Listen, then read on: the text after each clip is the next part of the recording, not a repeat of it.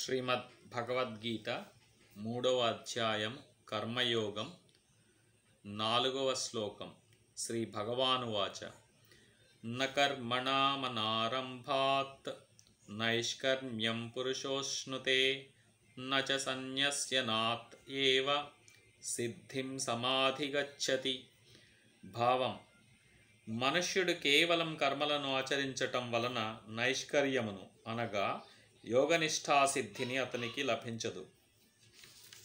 అనగా యోగనిష్టాసిద్ధి అతను పొందజాలడు కేవలం కర్మలను ఆచరించటం వలన. మరియు అట్లే కేవలం కర్మలను త్యజించినంత మాత్రమున అతను సాంఖ్యనిష్టను పొందజాలడు అని భావం.